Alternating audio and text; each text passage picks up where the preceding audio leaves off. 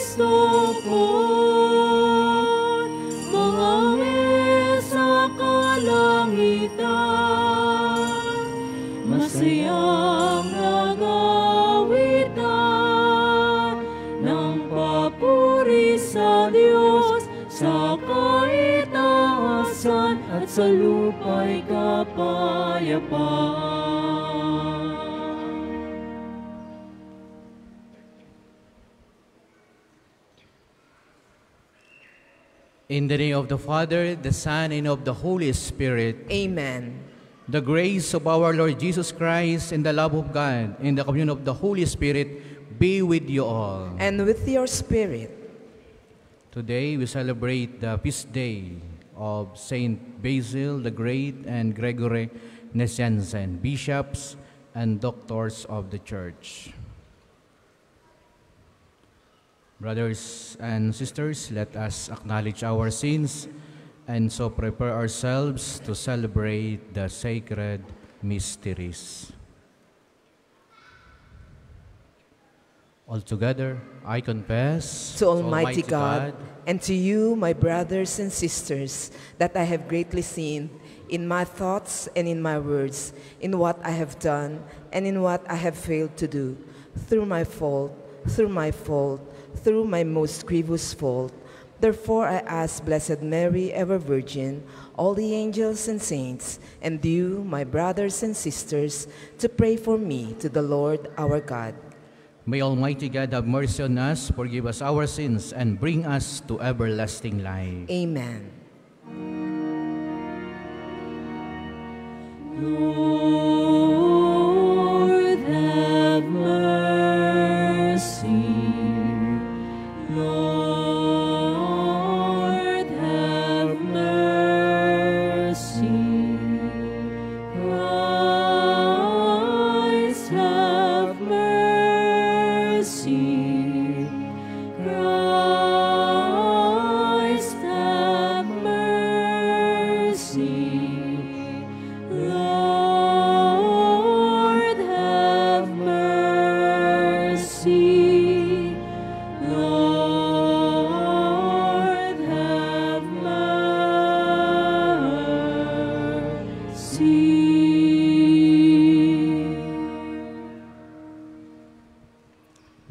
Us pray.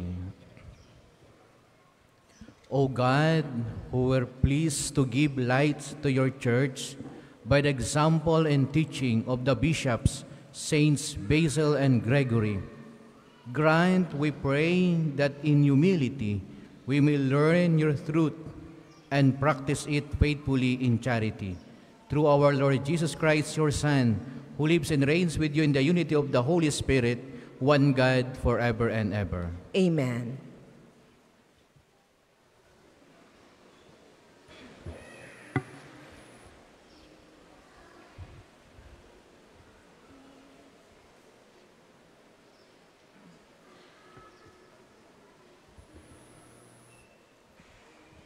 A reading from the first letter of St. John. Beloved, who is the liar? Whoever denies that Jesus is the Christ. Whoever denies the Father and the Son, this is the Antichrist. Anyone who denies the Son does not have the Father. But whoever confesses the Son has the Father as well. Let what you heard from the beginning remain in you. If what you heard from the beginning remains in you, then you will remain in the Son and in the Father. And this is the promise that He made us eternal life. I write you these things about those who would deceive you. As for you, the anointing that you need from Him remains in you, so that you do not need anyone to teach you. But this anointing teaches you about everything, and is true and not false, just as it taught, remain in Him. And now, children, remain in Him, so that He appears, we may have confidence. and not to be put by shame in him at his coming. The word of the Lord. Thanks be to God. Responsorial Psalm. All the ends of the earth have seen the saving power of God. All the ends of the earth have seen the saving power of God. Sing to the Lord a new song, for he has done wondrous deeds. His right hand has won victory for him, his holy arm. All the ends of the earth have seen the saving power of God. The Lord has made his salvation known. In the sight of the nation, he has received his justice. He has remembered his kingdom and his faithfulness towards the house of Israel. All the ends of the earth have seen the saving power of God. All the ends of the earth have seen the salvation by our God. Sing joyfully to the Lord, all your lands. Break into song and sing in praise. All the ends of the earth have seen the saving power of God. Let us all stand.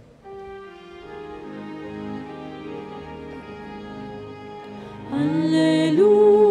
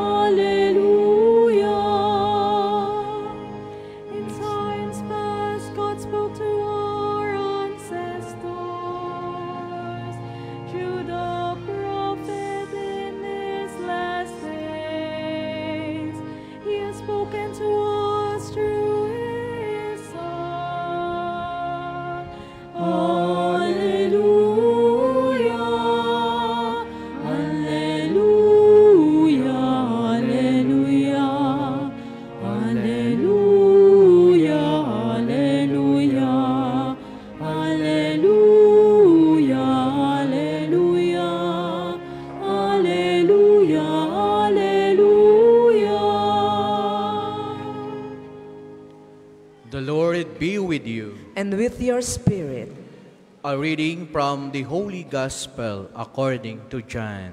glory to you, O Lord. This is the testimony of John.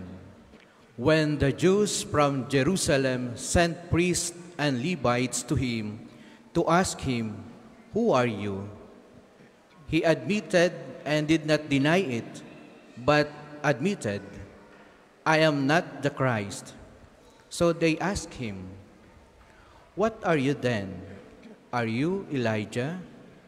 And he said, I am not. Are you the prophet? He answered, No. So they said to him, Who are you? So we can give an answer to those who sent us. What do you have to say for yourself? He said, I am the voice of one crying out in the desert, Make straight the way of the Lord, as Isaiah the prophet said. Some Pharisees were also sent.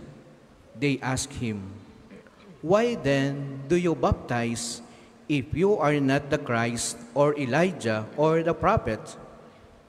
John answered them, I baptize with water, but there is one among you whom you do not recognize, the one who is coming after me, whose sandal strap I am not worthy to untie. This happened in Bethany across the Jordan, where John was baptizing. Brothers and sisters, the gospel of the Lord. Praise to you, Lord Jesus Christ.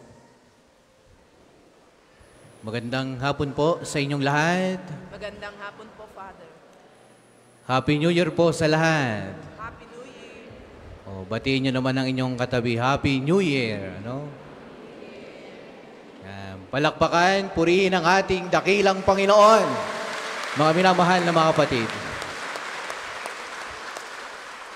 Bagong taon na, no? Bagong taon na, panibagong biyaya na naman ang ating tatanggapin sa Panginoong Diyos. Amen. No, nawa tayong lahat maging maligaya, masaya ngayong 2024 Sana magpahinga muna ang mga problema, no? Sana magpahinga muna ang mga karamdaman, ang mga dumadating na mga biglaan na nakakatakot sa pamilya, magpahinga muna sila. No, nawa, ibigay muna sa atin ng Panginoong Diyos ang taong itong tayo'y pinagpala at mabiyaya. Palakpakan purihin ng Panginoong Diyos. Mga minamahal mga kapatid, no, marami tayong gustong mangyari ngayong taong ito. At tayo tutulungan ni Saint John the Baptist para mag-reflect, no? Sabi niya, I am the voice of one crying out in the desert, make straight the way of the Lord. Ako'y yung sumisigaw sa ilang, tuwirin ninyo ang daraanan ng Panginoon. Yan ang kanyang sabi, ano? Siya'y sumisigaw sa ilang, galing sa ilang, sa disyerto, tang sabi niya, tuwirin ninyo ang dadaanan ng Panginoon. Ngayong 2024, ano ngay January 2. Yan ang ating pagnilayan. Paano natin matutuwid ang buhay natin ngayong 2024 para ang biyaya ay tuloy-tuloy na makapasok sa ating buhay, sa ating pamilya. Kaya sabi ni San Juan, dadating si Jesus. Pero ang kanyang dadaanan, dapat ang mga lambak ay tinatambakan, ang mga baku-bakong daan ay inaayos, tutuwidin ang daan. Ibig sabihin, tayo, simulan natin ang 2024 na tayo'y malinis. Yung mga likong takbo ng ating pag-iisip, ng ating pamumuhay, no? Atin ang tuwidin, no? Kung ikaw ay nasa kasalanan pa ring mabigat, na hindi ka makalaya-laya, itong panahong ito, tuwidin mo ang iyong buhay. Kung hanggang ngayon, nandiyan ka pa rin sa uri ng kasalanan yan, tuwidin mo ang buhay mo. Tuwidin natin ang takbo ng buhay natin ngayong 2024 para ang biyaya ng Panginoon ay tuloy-tuloy. Ibig sabihin, ating lilinisin ang dadaanan ng biyaya ng Diyos sa ating buhay, sa ating pamilya. Ito na yung panahon ng paglilinis natin, 2024. Para tayo'y makapagpahinga naman sa mga bagay na mabibigat sa ating kalooban. Yung mga nagpapahirap sa ating puso, tayo makapahinga naman. Kaya padaluyin natin ang biyaya ngayong panahong ito. Kaya sabi ni San Juan, Make straight the way of the Lord. Tuwirin, maging malinis ang dadaanan ng Diyos sa ating buhay. Anong ating gagawin? Una, napakasimple, no? Nung, yung ating pagiging katoliko, i-practice natin. Sumimba tayo pagka linggo, piyestang pangilin. Huwag mong laging sabihin, marami akong gawain. May trabaho pa ako. May pinagkakaabalahan pa ako. O busy ako. Gawin mo ang linggo ay para sa Diyos. Kaya dapat available ka. Sabihin mo, Lord, available ako sa iyo. Huwag mong sabihin, Lord, pasensya na, busy ako. No? Pag bumisi ka na ng bumisi, ano, ang Diyos, nawawala na ng space sa buhay mo.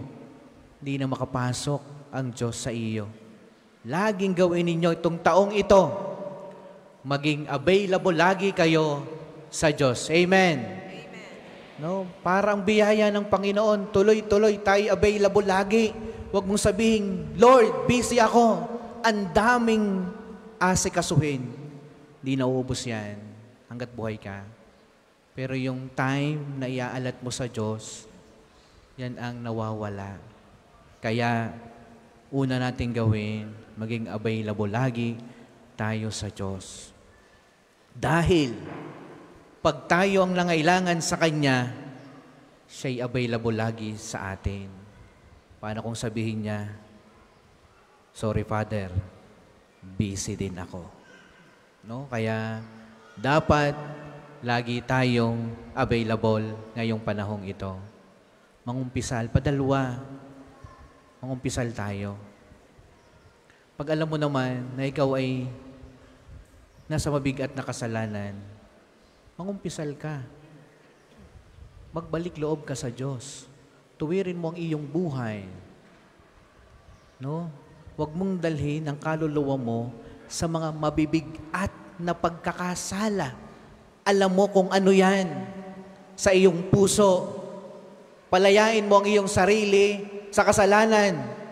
Papasukin ang biyaya ng Panginoong Diyos. Tuwirin ang dadaanan ng Diyos sa iyong buhay.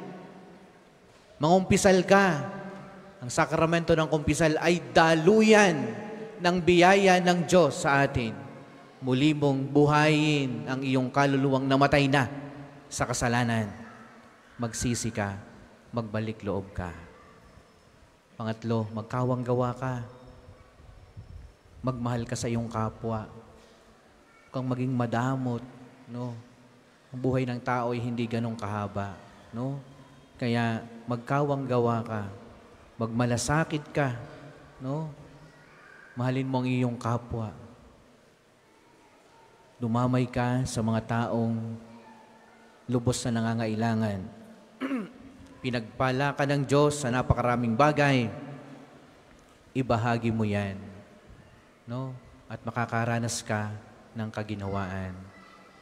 Kaya mga minamahal itong taong ito, sabi ko nga kanina, ito yung taon na papapagpapahingay naman natin ang mga problema. Pero paano mangyayari sila magpapahinga kung tayo mamumuhay sa biyaya ng Panginoong Diyos? Huwag nyo laging sasanayin na ang ating mga kaluluwa ay patay dahil sa kasalanang mabibigat. Ang kasalanan ay kusang pagtalikod sa Diyos. No, ang mortal sin, alam naman natin yan, eh, mors. Sabihin ay death, kamatayan. Pag ikay nasa estado ng mortal sin, namamatay. Ano namamatay? Yung iyong relasyon sa Diyos. Kaya ang Panginoon, ang daming gustong ibigay sa iyo, nagdadasal ka sa Kanya, pakinig niya, oo, humihingi ka, pero sa paggawa mo ng kasalanan, ikaw din ang humaharang sa biyayang tatanggapin mo. Humihingi ka ng kagalingan, humihingi ka ng biyaya sa iyong buhay, sa iyong pamilya, pero tuloy-tuloy naman ang paggawa mo ng kasalanan. Pero ikay nagdadasal din naman na ikay biyayaan. No? Hinaharangan mo ang biyaya ng Diyos sa iyo sa pamagitan ng paggawa ng kasalanang mortal, mabibigat. Kaya, pag ikaw ay nangumpisal, nagbalik loob ka sa Diyos, nawawala yung shield na yan na humaharang at muling bumabalik ang iyong ugnayan sa Diyos. Sabihin, nagbabalik loob ka na. At huwag mo na uling babalikan ang mga kasalanan mong pinagkisihan mo na. Mamuhay ka na sa biyaya ng Diyos. Nawa, muli, noong 2024, mamuhay tayo, umiibig, nagmamahal sa Panginoong Diyos. Tuwirin na natin ang daanan ng Panginoon sa ating buhay. Alisin na natin ang mga baluktot nating buhay, baluktot nating kaisipan, at nang ang biyaya ng Diyos ay ating tamasahin ngayong 2024. Amen. Amen. For those with envelope offerings, you may drop them at our collection baskets.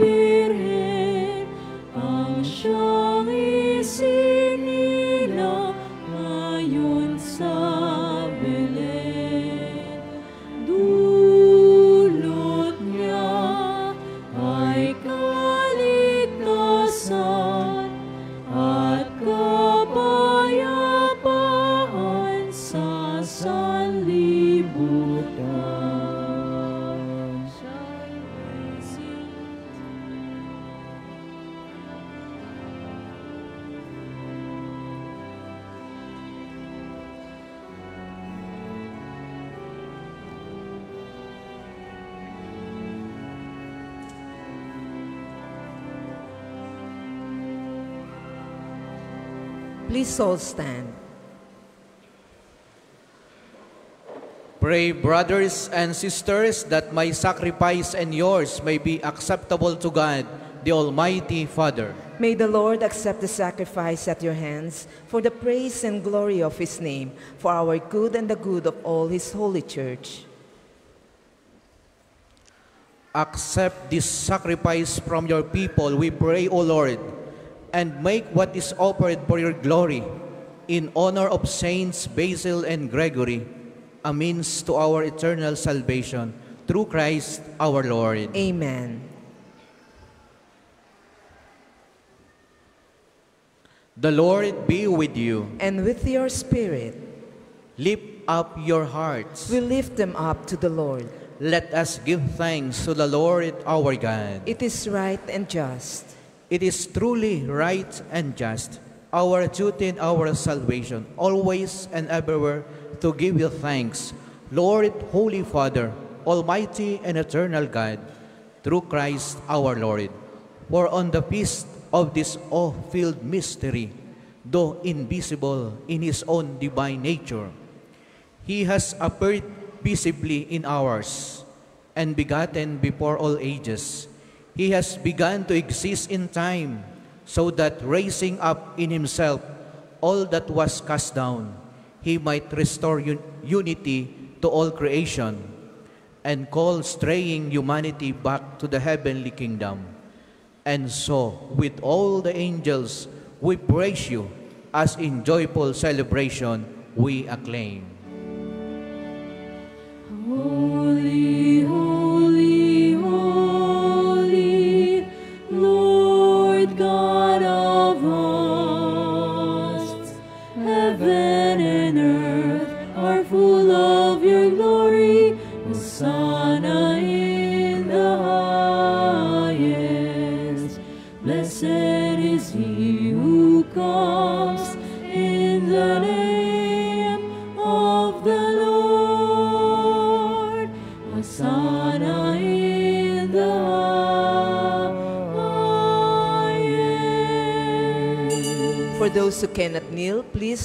Standing with reverence.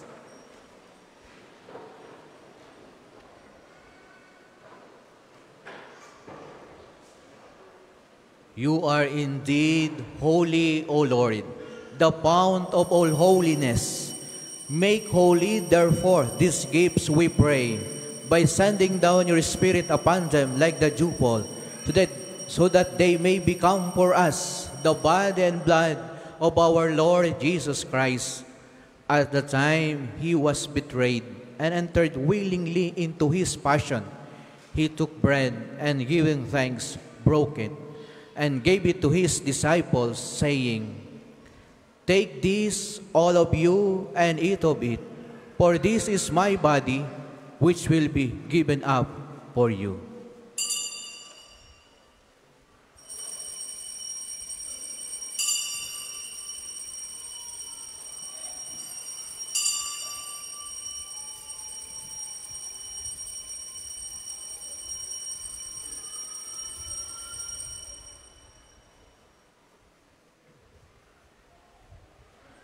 In a similar way, when supper was ended, he took the chalice and once more giving thanks, he gave it to his disciples, saying, Take this, all of you, and drink from it. For this the chalice of my blood, the blood of the new and eternal covenant, which will be poured out for you and for many, for the forgiveness of sins. Do this in memory of me.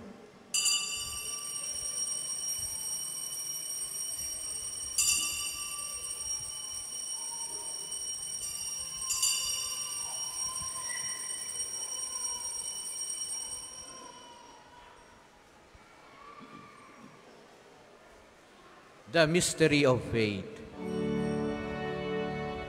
When we eat this bread and drink this cup, we proclaim your death, O Lord, until you come again. Therefore, as we celebrate the memorial of his death and resurrection, we offer you, Lord, the bread of life and the chalice of salvation, giving thanks that you have held us worthy to be in your presence and minister to you. Humbly we pray that partaking of the body and blood of Christ, we be gathered into one by the Holy Spirit. Remember, Lord, your church spread throughout the world and bring her to the fullness of charity, together with Francis our Pope and Gilbert our Bishop and all the clergy. Remember also our brothers and sisters who have fallen asleep in the hope of the resurrection, and all who have died in your mercy. Welcome them to the light of your face.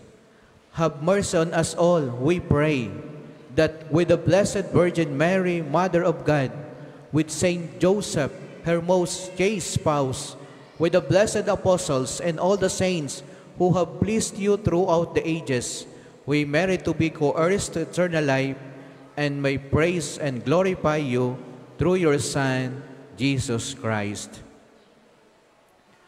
Through him and with him and in him, O God, Almighty Father, in the unity of the Holy Spirit, all glory and honors is yours forever and ever. Amen, amen, amen. Let us all stand. At the Savior's command and formed by divine teaching, we dare to say, Our Father,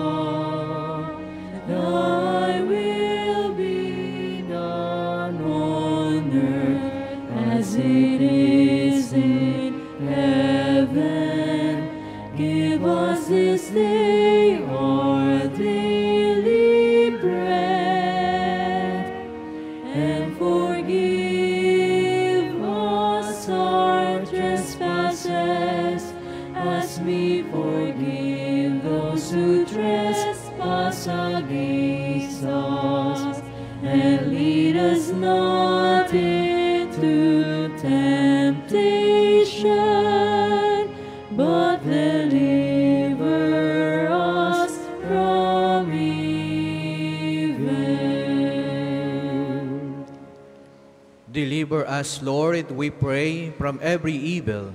Graciously grant peace in our days, that by the help of your mercy, we may always free from sin and safe from all distress as we await the blessed hope and the coming of our Savior, Jesus Christ. For the kingdom, the power, and the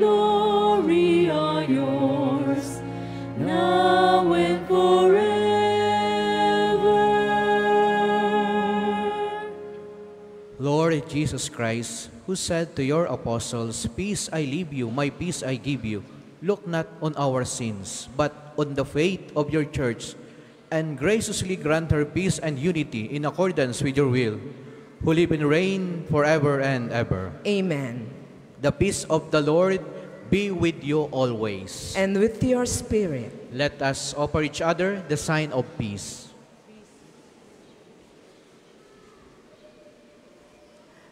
Lamb of God, you take away the sins of the world. Have mercy on us. Lamb of God, you take away the sins of the world. Have mercy on us. Lamb of God, you take away the sins of the world. Grant us peace. Please kneel. For those who cannot kneel, please remain standing with reverence.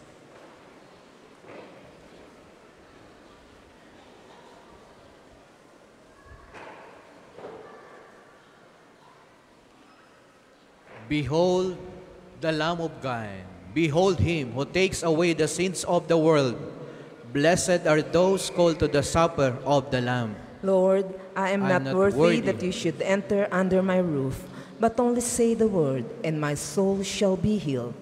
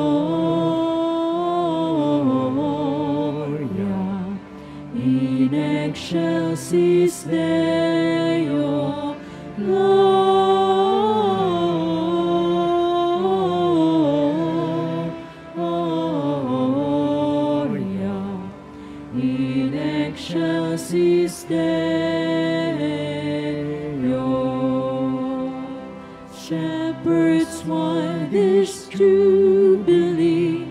Why your joyous strains prolong? Say what may the tidings be, which inspire your heavenly song. Gloria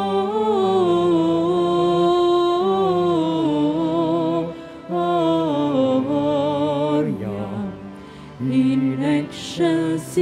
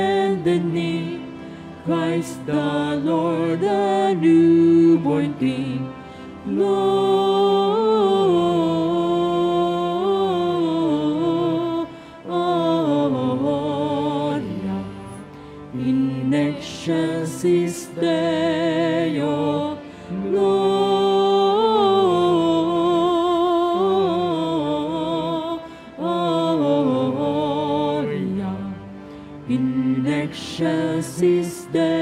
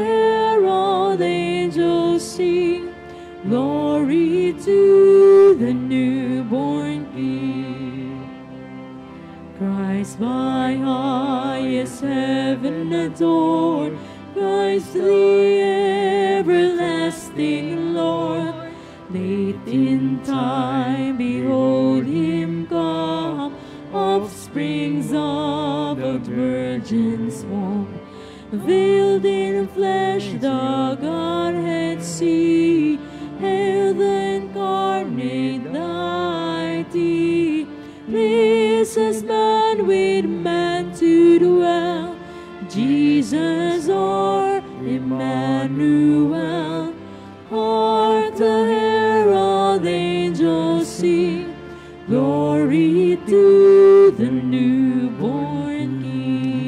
Second collection is intended for the continuing development of the parish and national shrine of St. Padre Pio.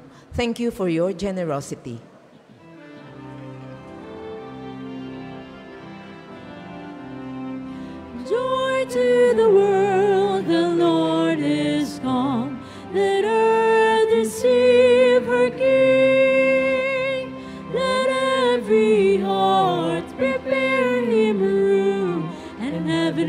Nature sings, and heaven and nature sing, and heaven and heaven and nature sing. Joy to the world, the Savior reigns. Let men their songs employ, while fields and floods, rock hills and plains, repeat the sounding joy, repeat the sounding joy, repeat, repeat the sounding joy.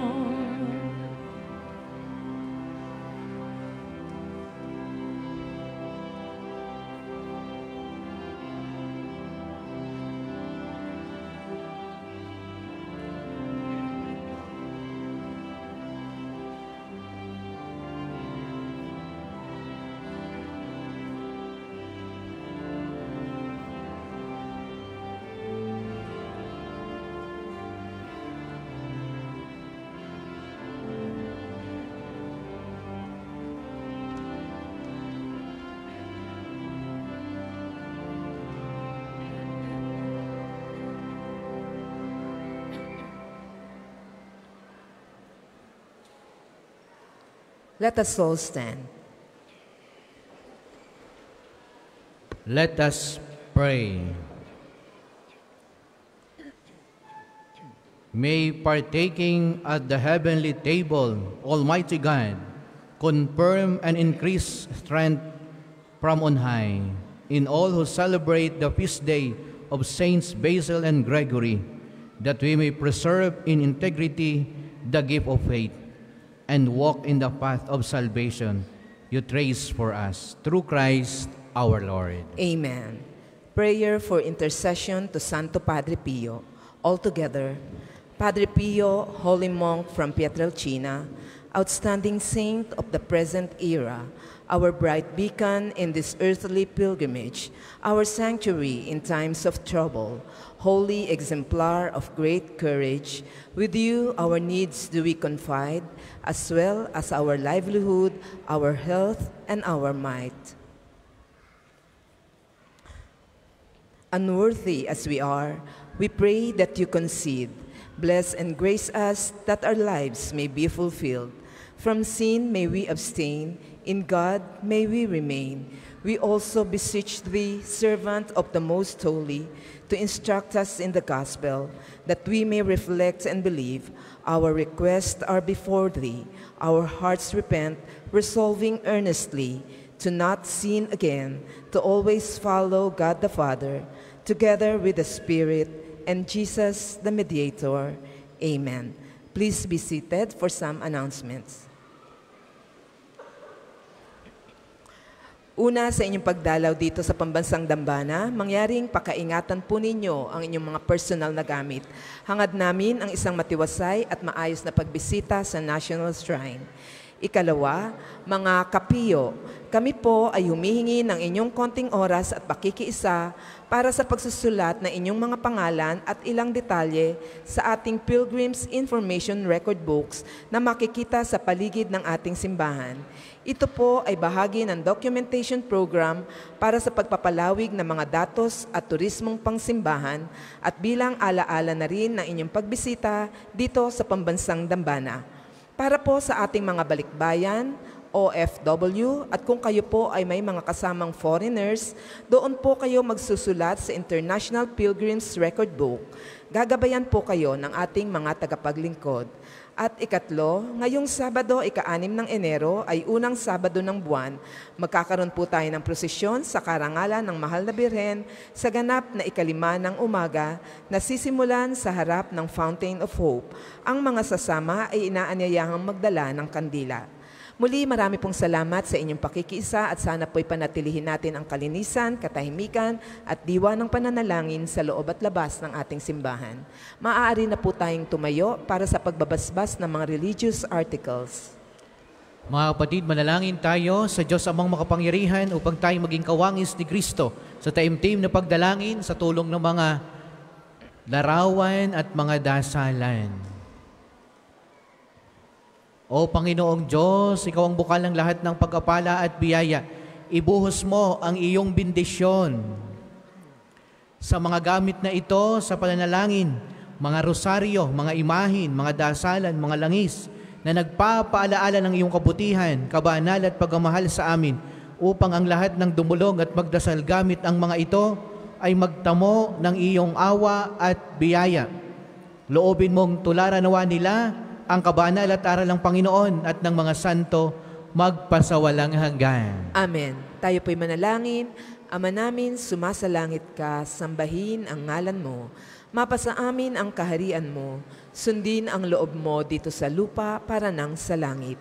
Bigyan mo kami ngayon ng aming kakanin sa araw-araw at patawarin mo kami sa aming mga sala para ng pagpapatawad namin sa nagkakasala sa amin at huwag mo kaming ipahintulot sa tukso at iadya mo kami sa lahat ng masama. Amen. Aba, Ginoong Maria, napupuno ka ng grasya, ang Panginoong Diyos ay sumasa iyo. Bukod kang pinagpala sa babaing lahat at pinagpala naman ang iyong anak na si Jesus. Santa Maria, Ina ng Diyos, ipanalangin mo kaming makasalanan ngayon at kung kami mamamatay. Amen. Luwalhati sa Ama, sa Anak at sa Espiritu Santo, kapara noong una, ngayon at magpasawalang hanggan. Amen. Ama namin, sumasalangit ka, sambahin ang ngalan mo, mapasa amin ang kaharian mo, sundin ang loob mo dito sa lupa para nang sa langit. Bigyan mo kami ngayon ng aming kakanin sa araw-araw at patawarin mo kami sa aming mga sala para ng pagpapatawad namin sa nagkakasala sa amin. At huwag mo kaming ipahintulot sa tukso at iadya mo kami sa lahat ng masama. Amen. Aba, Ginoong Maria, napupuno ka ng grasya, ang Panginoong Diyos ay sumasa iyo. Bukod kang pinagpala sa babaeng lahat, at pinagpala naman ang iyong anak na si Jesus. Santa Maria, Ina ng Diyos, ipanalangin mo kaming makasalanan, ngayon at kung kami mamamatay. Amen. Lolhati sa Ama, sa Anak, at sa Espiritu Santo, kapara noong una, ngayon, at magpasawalang hanggan. Amen. Luwalhati sa Ama, sa Anak, at sa Espiritu Santo, kapara noong una, ngayon, at magpasawalang hanggan. Amen. Luwalhati sa Ama, sa Anak, at sa Espiritu Santo, kapara noong una, ngayon, at magpasawalang hanggan. Amen.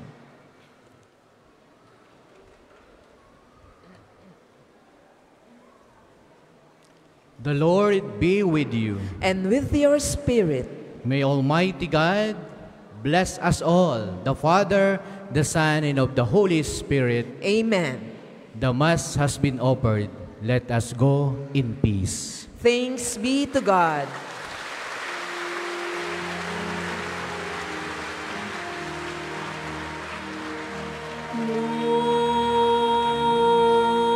Gloria in excelsis